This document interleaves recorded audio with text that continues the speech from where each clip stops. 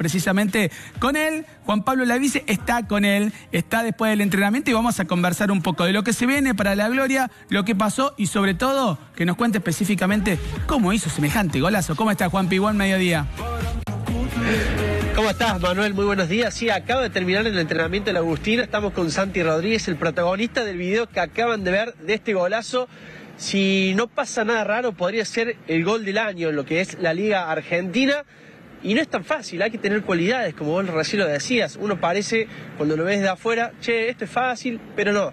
Pero le vamos a preguntar porque estamos justamente con Santi Rodríguez. Antes que nada, saludarte, Santi, muchas gracias por recibirnos. Tremendo gol hiciste, ¿no?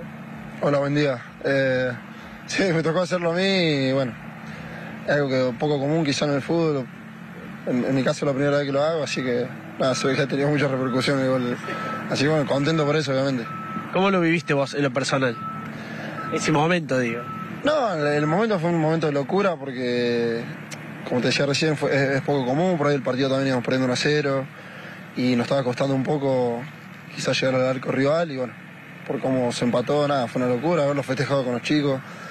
Eh, y después nada, después hubiese sido más lindo obviamente que, que, hubiese sido con triunfo, pero bueno, no se pudo. Pero nada, fue un momento loco, digamos, porque es la primera vez que me pasa y nunca lo he vivido. Ahora le pegaste, pero me decías, no llegaste a ver cuando entró. No, en el momento no. Sí, cuando le pego, veo cuando va muy alta y, lo, pasa al arquero, que fue mi primer objetivo, digamos, pasarlo al arquero. Pero después no veo cuando entra, escucho el grito de la gente y de algunos compañeros ahí que, que gritan y salí como loco corriendo. Ni, después no me acordaba las cosas que había hecho en el festejo y nada, porque es un momento de, locura, digamos. Bueno, acá te lo muestro el gol. Acá lo estamos viendo de nuevo.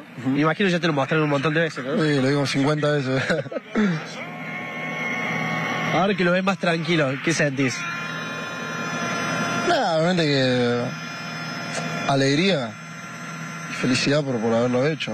Ahí en el momento es una locura en el partido, pero después... Sí, me lo pasaron varios, o sea, mis amigos, gente que me conoce me lo pasaron después, bueno, lo, vi muchas veces. claro. Ahora, eh, justamente estamos parados en la mitad de la cancha porque queremos mostrar a la gente. Vamos a darnos vueltas, Afi, ¿te parece? Vamos a caminar un poquito, Santi. Lo lejos que está, porque para que tomemos dimensión, recién estamos parados en el círculo central, hicimos todos estos pasos, ahí está la pelota, aproximadamente de ahí le pegó Santi, miren la distancia que hay con el arco, tremendo. Y recién veíamos el gol y nos contaba que no es tan fácil, me decías, le apuntaste a lo que es el área chica, ¿no? Al vértice. Claro, yo cuando viene el, digamos, cuando sale el rebote de la pelota, que veo que viene hacia mí y así, hacia mi pierna hábil, que es la zurda, eh, en ese momento que la pelota rebota, yo lo veo al arquero y bueno, trato de apuntarle a, afuera, digamos, del arco, para que con, la, con el efecto se vaya por adentro. Fue mi idea en la cabeza en ese momento. ¿Salió? Y salió, sí, salió perfecto, pero nada, después le calculé un poco la fuerza, pero no, no es que quise hacerlo así tan así como fue. Creo que salió perfecto en el sentido de que entra, la pelota justo pica dentro del arco también. Cuando la veo alta me asusté que por ahí podía picar e irse o pegar en el travesaño o cualquier cosa, pero bueno, por suerte entró. Santi, ah, lo último con respecto al gol. Eh, contanos cuál es la clave para hacer un gol de este estilo. Viene la pelota como por acá. ¿Cómo hay que pegarle? ¿A dónde hay que apuntarle? ¿A dónde hay que mirar? Sobre todo para los chicos que están en este proceso de futbolista. No, yo cuando, o sea, cuando veo que viene la pelota viene medio muerta, por así decirlo, pero la pelota viene en contra mía. Y cuando la pelota viene y uno le pega, eh, como que sale más fuerte la pelota. Entonces no le di tanta fuerza. ¿A dónde hay que pegarle, Santi? no, yo le pegué, o sea, con la parte de adentro le pego así. Bien abierto el pie. Claro, bien abierto. La parte interna del pie. Eh, por ahí muchas veces se, se, les, se separa la pelota y uno le pega con empeño porque sale con más fuerza y más, más seguro. Pero nada, yo sentí que más seguro en el momento fue eso y bueno. cuando va viniendo la pelota que lo miro, agacho la cabeza y le pego la parte de adentro y bueno, salió y entró adentro. Fue gol, es importante. Seguro que sí. Bueno, Santi me decía, no fue eh, un triunfo, pero fue un gol especial y además eh, tuviste la capitanía. ¿Qué significa para vos ser capitán de instituto justamente contra Unión? Sí, eso fue más importante, más allá del gol, que fue lindo también. En su momento sentí eso, la importancia que tiene llevar esa cinta de capitán en el brazo. Eh, sé que han pasado muchos jugadores de mucha jerarquía por este club. en este momento nuestro capitán es Palomo Alarcón y y bueno, en ese momento me lo ofreció y en la semana yo le dije que sí, que, estaría encantado de usarla. Y bueno, el técnico también me lo, dispuso a mí, así que estoy, muy contento, feliz. Fue un día muy importante para mí en ese sentido. Lo hablaba con, la, con mi familia y les contaba eso porque sé lo que significa llevar eso. Entonces nada, traté de llevarla con la mayor responsabilidad posible. Eh, yo soy un jugador muy tranquilo, quizás no soy un... Yo, yo siempre digo que capitán se nace porque líder se nace y bueno, yo quizás no soy tan así, pero trato de, de ayudar en lo que pueda y obviamente escuchar a la gente también que tenemos al lado, los compañeros. Santi, te fuiste en remis de la cancha. Cerraste vos el estadio, de verdad. Sí, parece que un ¿Qué pasó? de comunicación con, con el profe, pero bueno, eh, no, pasa que es- de- después de los partidos local, el profe pregunta a quién vuela al hotel por los autos. Y yo le dije que volvían en el colectivo, pero se ve que me, me entendió mal, creo yo, y bueno. Nada, estaba haciendo nota y cuando quise ver ya el colectivo no estaba más. me quedé solo ahí con los chicos de prensa, pero bueno. Eh, nada, tuve que esperar un rato y e irme en, en remis hasta, hasta el hotel a buscar la camioneta. Pero nada, son cosas que pasan y uno, ahora uno se ríe porque salieron un montón de cosas, videos, stickers, todo, y todos me lo mandan. Y nada, nos reímos.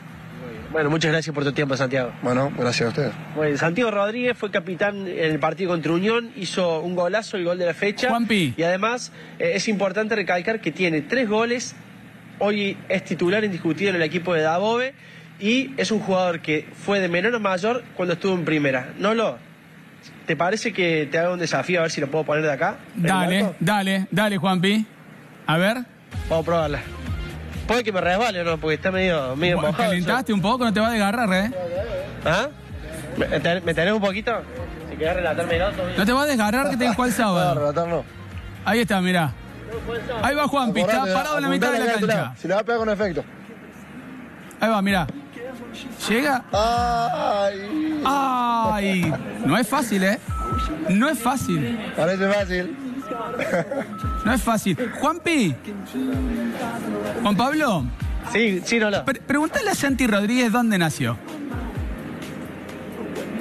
Me pregunta acá Manuel Sánchez, ¿dónde naciste? ¿Dónde nací? En Arizona, San Luis. San Luis, ¿no? No Estados Unidos. Ah, claro. Ojalá, vaya Estados Unidos. Arizona, Arizona. Era toda una novedad porque lo estaba viendo y nació en Arizona, claro. Dice, ¿es de Estados Unidos? No, no, na- Arizona, en San Luis. Un pueblo que se. Que ¿De cuántos habitantes? ¿Cuántos habitantes tiene? 1600 debemos ser. Mira vos. 1600. No me estoy pasando, no lo digo. Y vamos para arriba. 1700, sí. 1700 habitantes. De ahí salieron los Solari también, ¿eh? Los que juegan en River, en la selección. ¿Qué, qué tiene Arizona? Claro, de Arizona, Pablo y Santiago Solari, ¿no? Sí, son hermanos. Sí, Santi fue al colegio conmigo, digamos, fuimos al jardín, fuimos al colegio juntos. Pablito un poco más chico, pero siempre estuvo con nosotros porque andábamos por todos lados jugando a la pelota. Después, bueno, después todo lo otro, todo lo que pasó, eh, obviamente por virtud de ello. Y bueno, los tres siempre soñamos con ser jugadores profesionales y hoy lo estamos viviendo. Imagínate si Arizona tuviera 12.000 habitantes, tendría como 5 o 6 jugadores más. Sí, hay muy, hay muy buenos jugadores, eso no, no te lo voy a discutir. Allá en la, en la zona del sur de, de San Luis, bueno, en San Luis también, en toda la zona. Viste que por ahí en, en el, en el interior se dice que hay muchos más jugadores, pero que los hay, los hay. Gracias, Santi. Ahora sí. De nada, hermano. Bueno, tuvimos acá la palabra de Santiago Rodríguez, jugador de instituto que hizo el gol de la fecha, un instituto que jugará contra Huracán el próximo fin de semana, esperando traerse los tres puntos a Córdoba. Adelante ustedes. Muchas gracias, Juan Pablo. Muchas gracias. Un pueblo de mil y chirola de habitantes, tres jugadores de primera división. Un montón. Eh, No, debe está, haber sí, algo, sí, Eh. Proporcionalmente es, es para destacarlo de Arizona a San Luis. Sí, sí. Bueno. Y Linda nota, golazo ¿no? de, Sí, de linda Santi nota, Rodríguez. linda nota. ¿Has probado pegarle desde ahí vos? No, no.